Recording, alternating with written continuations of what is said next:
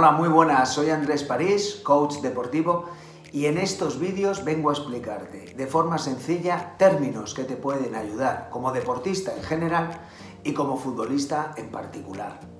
¿De qué hablaremos en estos vídeos? Pues hablaremos de qué es el coaching deportivo, qué aplicaciones puede tener este coaching deportivo, o aprender a tener una buena gestión emocional, o también aplicar aspectos de la inteligencia emocional a tu día a día como futbolista. Pues estas cosas que entiendo que te pueden venir bien en tu mejora y otras serán las cosas que iremos viendo, que iremos aprendiendo en los siguientes vídeos. Gracias por estar ahí.